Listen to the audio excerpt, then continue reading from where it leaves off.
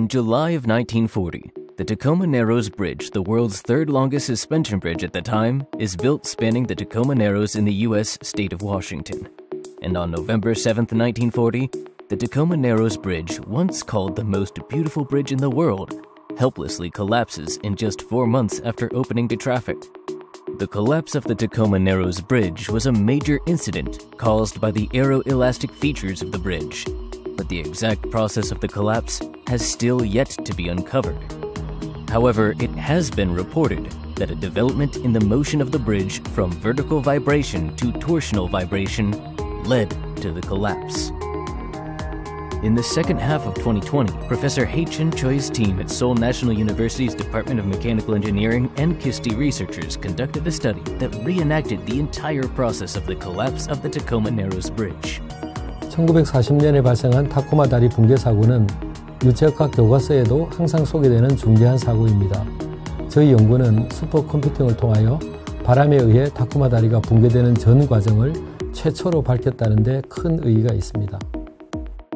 The study was conducted by analyzing the vibrations of the bridge caused by wind along with the collapse mechanism by creating the closest conditions to the actual collapse using the supercomputer Nurion. Flow in such conditions falls under the turbulent flow regime. Turbulent flow refers to fluid motion characterized by chaotic and irregular flow of air or water, and it typically occurs at high speed. An easy example of a turbulent flow would be the reason why smoke coming out of a chimney disperses instead of uniformly ascending. Turbulent flow typically occurs at high Reynolds numbers. The Reynolds number gives the ratio of an object's inertia to its viscosity, and it is one of the more important dimensionless numbers that represents fluid flow patterns. Also, the revolution of flow in a turbulent regime is referred to as a vortex, which can cause vibration and instability in structures when interacting with them. The Reynolds number during the actual collapse of the Tacoma Narrows Bridge was around 3 million, which is considered a high Reynolds number. The number of grid points required for analysis is related to the Reynolds number. But if you were to use the actual Reynolds number at the time of the collapse, computational capacity of a size that is impossible for practical analysis would be required. Therefore, computations were performed by changing the Reynolds number to 10,000 to enable practical computations while also sufficiently simulating the phenomena that occurred in the actual bridge. The fluid flow is analyzed by constructing the grid system in a three-dimensional space. While more than 13 billion grids and 2,500 nodes in the supercomputer Nurion were used for this simulation. The length and geometry of the approximately 850 meter bridge were used exactly as they were in 1940 the stationary bridge slowly begins to sway due to aeroelastic interaction with the wind. These are vertical vibration of the same frequency and wavelength that occurred on the morning of the collapse. Through the computation results, we were able to check the flow of air around the bridge, the force acting on the bridge, and the three-dimensional flow structure together with the motion of the bridge. This time, we look at the motion of the bridge from the front you can clearly see the cross sections of the bridge vibrating vertically. If you look at the cross section of the bridge and the two-dimensional flow field, you can see how vortices periodically occur above and below the bridge, and how the bridge sways accordingly. We will now separate the flow field and the bridge structure.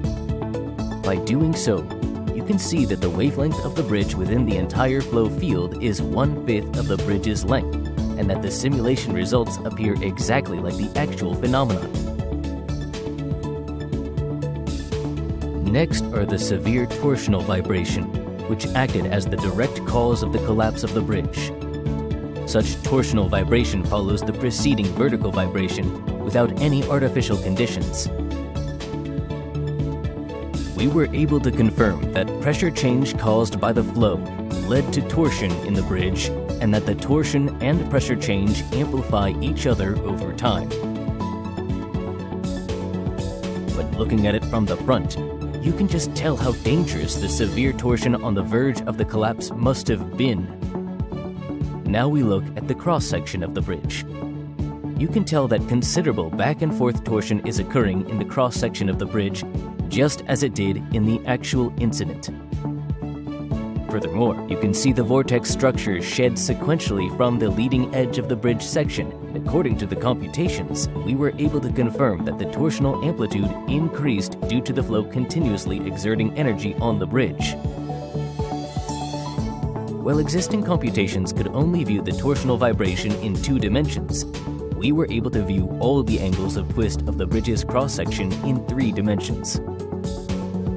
Accordingly, we were able to find the torsional vibration of the bridge all looks different depending on the 3D direction. By means of this study, we were not only the first in the world to reenact the entire process of the collapse of the US Tacoma Narrows Bridge using KISTI's fifth supercomputer Nurion, we were also able to actualize vibrations on a realistic scale using a 3D simulation. Moreover, we achieved great results in that we improved the academic understanding of wind-induced vibrations and collapsing of bridges, and that we are also equipped with a system that can be applied to respond to similar problems, such as wind power, aircrafts, and expanding bridge collapse prediction systems. 타코마 다리 붕괴 해석은 슈퍼컴퓨터 5호기에 16만 개 코어를 사용한 세계 최고 수준의 연구 결과가 되겠습니다.